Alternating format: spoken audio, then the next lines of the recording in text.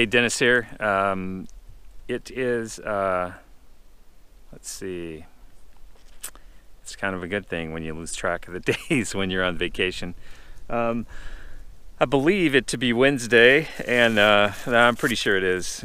Um, I've, uh, as I mentioned yesterday, I'm uh, going to paint this uh, beech tree that I found that kind of lives on this corner. Sorry, I've got like, I don't know, cat orange is sort of taken over my paint bag and I can't reach in there without it owning me. So um, anyway, I've uh, I've got this uh, this beech tree right here. Um, it's like a really old one, just just beautiful, and it's kind of living right on the edge of the the road. And uh, I'm going to sort of make it um, instead of just coming straight out of the the ground. I'm to probably have a couple of a uh, couple of roots coming up on top there. Um, but it's just a nice really nice neutral background.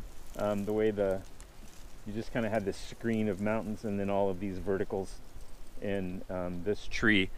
Uh, it'll be easy to uh, tell the story of how big it is because it's so much bigger than everything else around. And um, behind me is uh, I'm just right against this backdrop here. That's that's uh, just phenomenal. I mean, I mean, look at that forest up there. Um, anyway, I love this place. So I'll get a sketch going and uh, let's uh, let's see how this goes.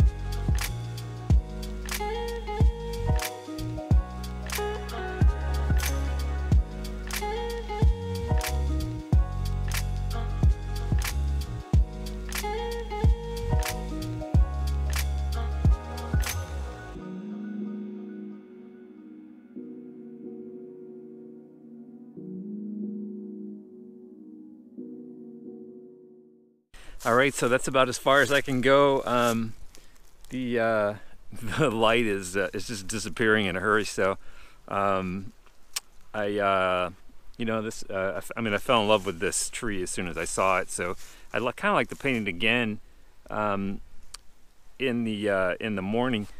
But uh, I'll show you what I got. Um, this is what I have. I think you know you know if there's uh, something successful I think that I that I captured on this one keeping that really soft background um, it really did help that tree really really stand out. And uh, so um, that was my plan. It looks like it was successful. So uh, as always thanks for checking out my video. I really do appreciate it. And uh, I appreciate all the comments uh, uh, that I've gotten lately.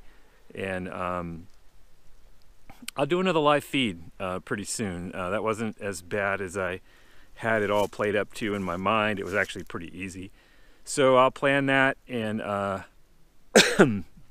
excuse me, I'm freezing right now. it's getting uh, it's getting really cold tonight, and so it's gonna be like down in the 20 something. Uh, I don't know. It's spring, right? I mean, it's not supposed to be like this. So thanks for uh, checking out the video, um, and uh, as always, I will catch you later.